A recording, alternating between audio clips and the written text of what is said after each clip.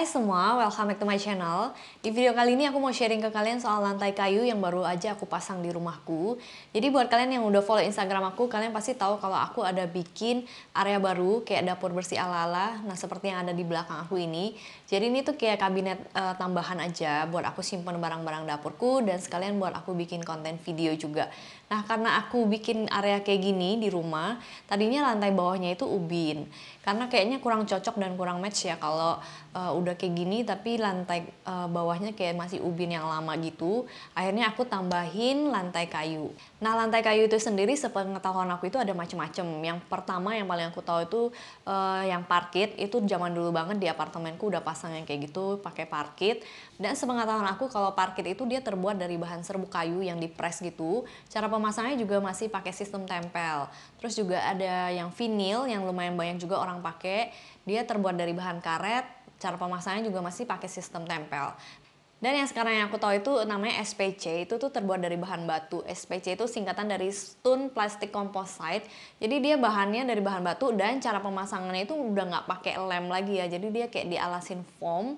Jadi tinggal kayak puzzle gitu, tinggal di uh, klik gitu. Jadi dia langsung bakal terpasang. Nah dari ketiga itu aku akhirnya pilih pakai SPC. Alasannya kenapa? Kalau parkit aku udah nggak masuk dalam pilihanku lagi karena uh, yang pertama udah pernah aku pasang juga di apartemenku. Aku udah tahu juga kayak gimana. Dan ada beberapa parkir kan memang yang nggak boleh kena air gitu ya. Jadi aku nggak uh, pilih itu kalau vinil di rumah adik iparku juga udah pakai yang uh, dari bahan vinil jadi aku juga udah tahu gambarannya Nah alasan aku nggak pilih vinil karena dia masih pakai sistem tempel. Aku takutnya next time aku mau bongkar, mau buka lagi itu tuh takut bisa merusak ubinnya. Aku nggak tahu sih kalau setelah dipasang dibuka lagi itu bakal rusak ubin atau enggak ya. Nah SPC ini dia nggak pakai sistem tempel. Jadi seperti yang aku jelasin di awal dia pakai sistem foam. Jadi lantainya itu dipasangin foamnya dulu baru kita pasang SPC-nya. Jadi kayak di clip gitu dipasang dipas-pasing gitu kayak puzzle gitu. Nah itu yang aku pilih. Jadi ketika mau dibongkar pun nggak merusak ubin dan gampang dibuka. Dan dari segi bahan, karena dia dari bahan batu, itu udah pasti jauh lebih kokoh dibandingkan yang uh, vinil maupun parkit. Nah sebenarnya dari bahan SPC ini pun dia udah ada yang update terbarunya lagi. Kalau yang aku pakai ini masih yang tipe lama. Jadi foamnya itu masih kayak dipasang terpisah baru kita pasangin SPC-nya. Kalau yang terbaru dia foamnya itu udah kayak nyatu gitu sama SPC-nya. Namanya itu kayak under layer. Jadi kalian nggak perlu ribet lagi pasangnya. Udah langsung tinggal di klip-klipin gitu aja. Nggak perlu 2-3 kali kerja. Tapi udah pasti dari segi harga dia jauh lebih mahal. Makanya ini aku coba yang tipe lama dulu. Karena aku juga cuma pasang lantai kayak itu di area sini aja, nggak ke seluruh rumah. Aku juga cuman tes dulu, pengen lihat dan SPC ini karena dia dari bahan batu, selain kokoh dia juga waterproof karena ini juga deket sama kamar mandi aku. Jadi kayak aku nggak worry kalau kena air. Sebenarnya dari kedua bahan tadi antara vinil dan juga SPC masing-masing ada kelebihan dan kekurangan. Kalau vinil dari segi harga dia memang lebih murah dan juga dia nggak seberat yang uh, eh, SPC karena SPC dari bahan batu ya udah pasti dia lebih berat dan juga lebih kok. Nah karena dia lebih berat jadi kayak mungkin kalau kalian beli pengirimannya bakal lebih mahal karena yaitu dia lebih berat. Kalau vinil kekurangannya juga dia masih pakai sistem tempel jadi kayak mungkin pemasangannya lebih susah mau bukanya juga lebih ribet ya dibandingkan SPC yang nggak pakai lem jadi tinggal pasang mau buka juga tinggal buka aja nggak bakal merusak ubin yang udah ada nah kalau kekurangan SPC ya dari segi harga dia pastinya lebih mahal dibandingkan vinil. Nah, supaya lebih jelas, di sini aku ada dua sampel uh, yang bahannya SPC sama vinil. Di sini dari segi ukuran kalian udah bisa lihat ya. Kalau yang SPC tuh dia ukurannya ini 1 meter 20, dia lebih besar dan ini lebih berat juga. Uh, lebarnya 18 cm. Sedangkan yang vinil dia lebih kecil size-nya. Ini ukurannya cuma 90 cm aja dan dari segi lebarnya 15 cm. Terus kemudian untuk dari ketebalannya uh, yang SPC ini, ini yang aku kasih lihat ya sampelnya ini yang 4 mili, sedangkan yang vinil ini 3 mili. Sebenarnya dia ada beberapa macam pilihan ukuran ketebalan, tapi kalau untuk kayak rumah hunian sih mostly orang-orang pakai yang kayak gini ya ukurannya. Nah dari segi bahan, ini aku kasih lihat ya, kalau yang vinil dia kayak gini tuh, jadi dia fleksibel, bisa dilekuk-lekuk gini.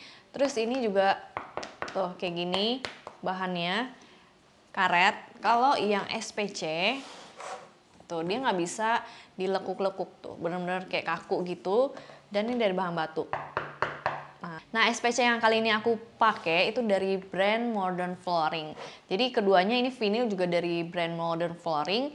Jadi alasannya kenapa? Sebenarnya kan banyak banget ya merek lantai kayu.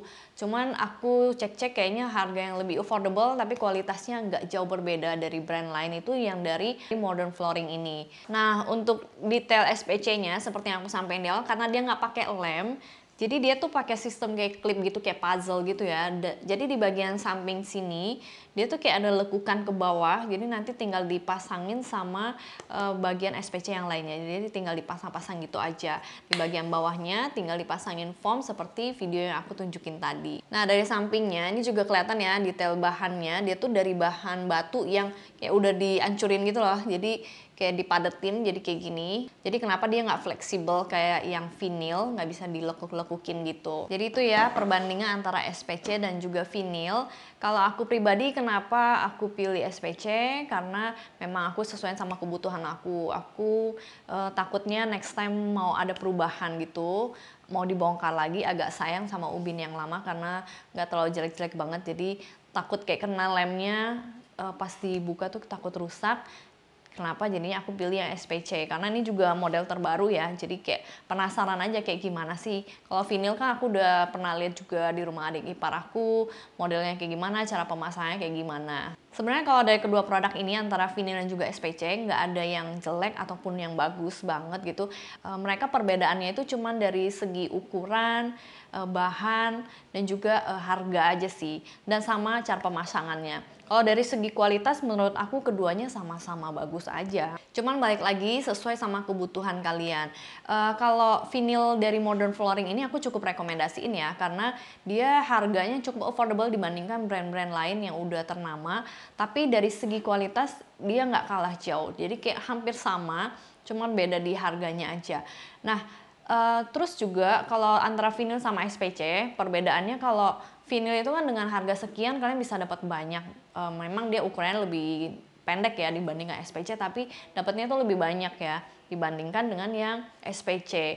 Jadi keduanya sama-sama bagus, aku cukup rekomendasiin jadi sesuai sama kebutuhan kalian. Kalau kalian prefer pengen cobain yang SPC, ini juga udah oke okay banget.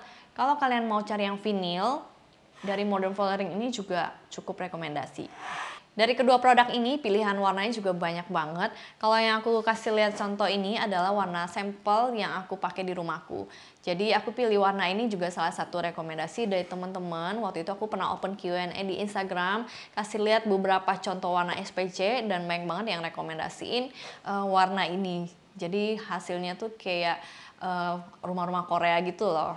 Nah dari vinil kalau kalian mau warna yang mirip ada yang kayak gini. Ini kan kurang lebih juga ya, cuma agak beda sedikit di motifnya aja. Oke, jadi segitu dulu ya sharing aku kali ini untuk sesi lantai kayu. Semoga cukup terbantu dan bermanfaat buat teman-teman yang lagi bingung mau pasang lantai kayu tipe apa, jenis apa, merek apa.